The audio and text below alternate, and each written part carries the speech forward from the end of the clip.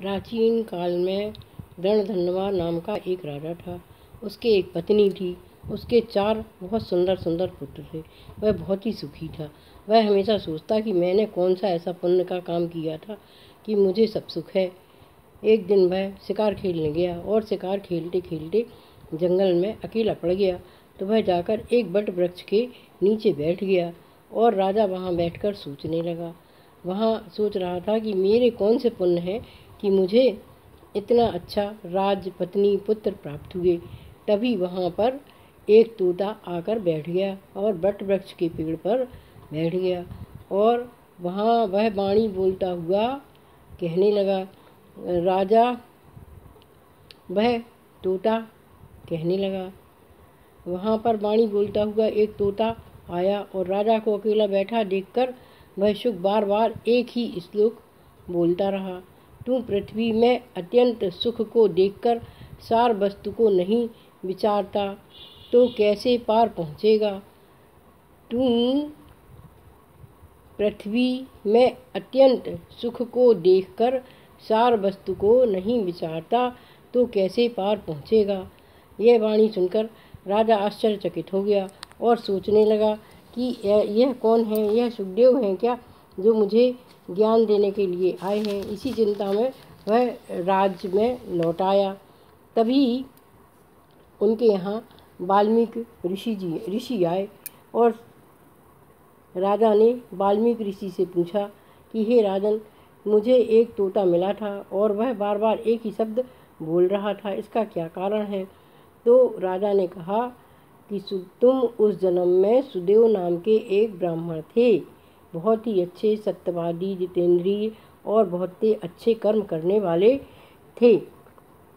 पर तुम्हें भी एक दुख बहुत ही सताता था कि तुम्हारे यहाँ कोई संतान नहीं थी। अतः तुम हमेशा परेशान रहते थे। तुम्हारी शादी गौतम ऋषि की पुत्री गौतमी से हुई थी। वह हमेशा तुम्हारे दुख का कारण जानकर तुम्हें बार बार समझाती रहती थी और कहती रहती थी कि, हे प्रभु भजन करो, हे प्रभु, भजन करो। भजन करने से सब चीज़ की प्राप्ति हो जाती है। तब तुमने विष्णु भगवान का भजन किया और विष्णु भगवान का बहुत अधिक भजन करने से एक दिन विष्णु भगवान प्रकट हुए और तुमने विष्णु भगवान से कहा कि, हे प्रभु, मुझे एक संतान चाहिए।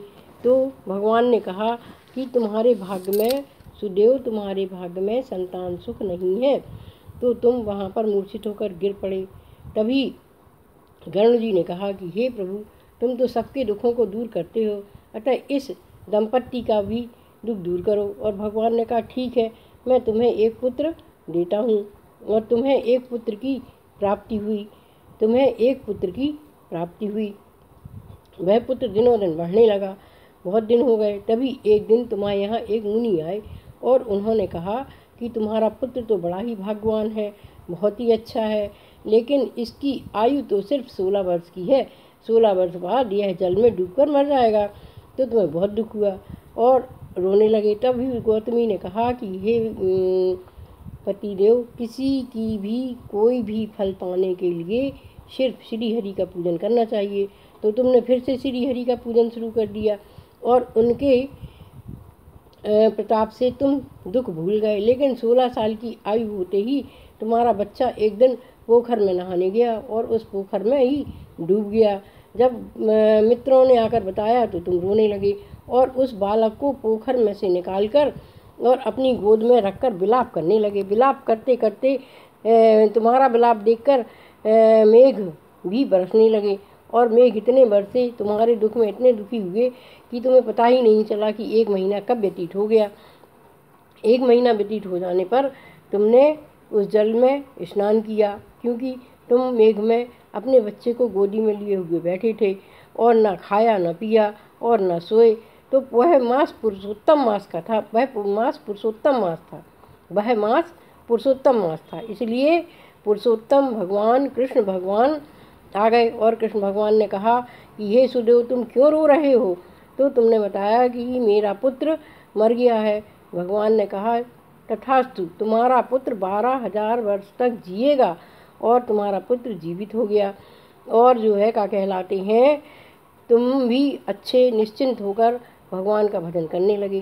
तुम्हारी पत्नी भी निश्चिंत होकर भगवान का भजन करने लगी और पुत्र भी अच्छा हुआ।